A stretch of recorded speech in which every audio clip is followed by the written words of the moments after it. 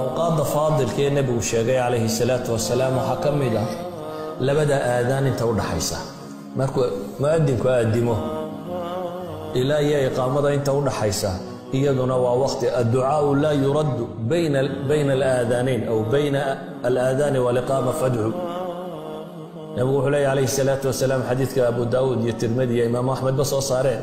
Sheekh albaanina saxiix ku tilmaamayo ducada lama celiyo labada aadaan dhexdooda labada aadaan waa iqaamada iyo aadaanka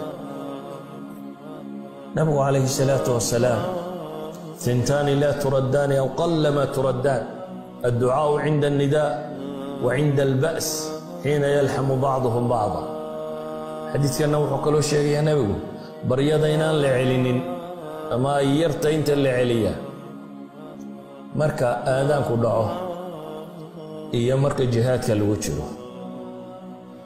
waxaa kaloo ka mid ah wakhtiyada ducadu ay fiican tahay salaadda dabadeed.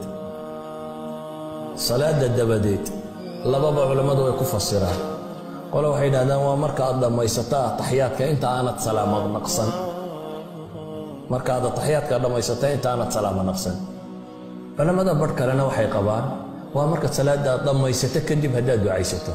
Yacni ducaa imaam la sugaa ma jirto oo aan dadku dareeraynin ilaa iyo imaamku uu duceeyo mooyaane. Laakiin waa wakhti aad iska ducaysan karto. Waana wakhtiyada ducadu fadliga badan tahay.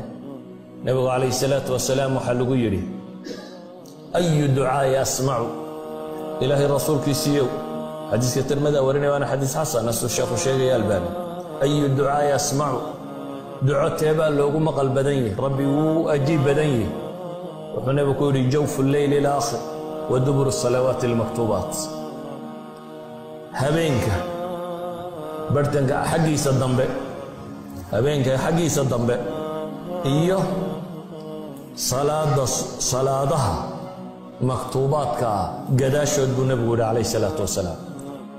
Walidalik buu nebigu waa kii saxaabiga u tilmaamayey mucaad ibnu jabal wallaahi mucaada waan ku jecelahay buu nebigu ku yidhi calayh salaatu wasalaam.